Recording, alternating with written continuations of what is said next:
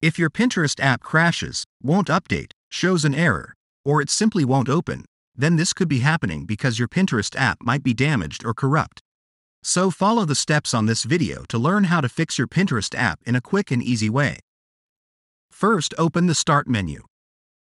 Open your settings. Open Apps. Open the Installed Apps section. Locate Pinterest. Click on the three dots to open the Pinterest app options. Click on Advanced Options. Look for the Reset section. If your Pinterest app isn't working right, you can try to repair it. The Pinterest app data won't be affected. Now press Repair. If Pinterest is still not working right, reset it. Now press the Reset button.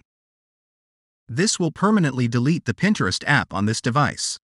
Including preferences and sign-in details. Press Reset again. If Pinterest app is still not working, you could try to reinstall it. This will uninstall Pinterest and its settings. Your documents will not be affected. First press Uninstall. The Pinterest app and its related data will be uninstalled. Press Uninstall again. Now open your Microsoft Store to download the Pinterest app again.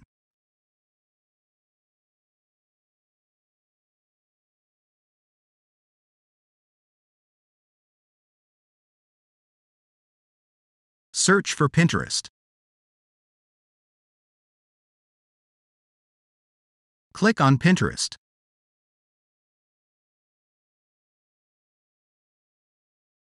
Press the Get button to start downloading Pinterest.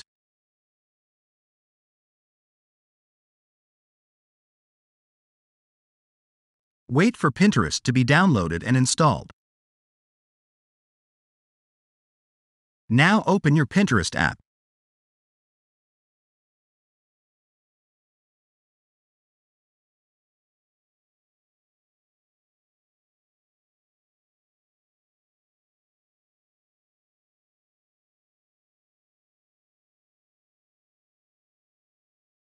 Select Sign In.